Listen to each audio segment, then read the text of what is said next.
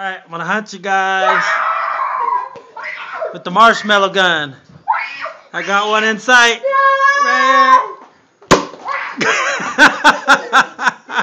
Right